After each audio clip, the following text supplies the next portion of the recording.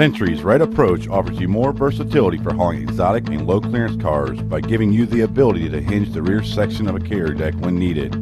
As the deck slides back, the operator can release the locking hinge, which allows the rear portion of the deck to be lowered to an incredible 6 degree load angle.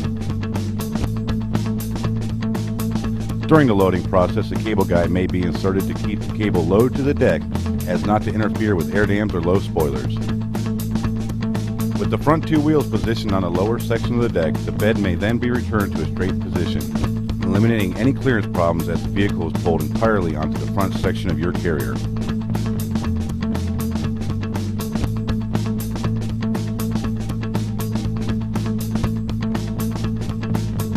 This process can be easily repeated for cars with low exhaust or rear bumpers.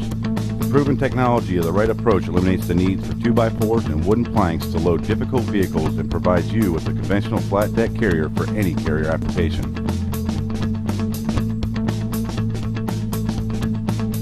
For more innovative ideas to assist you in all of your towing recovery needs, think Century.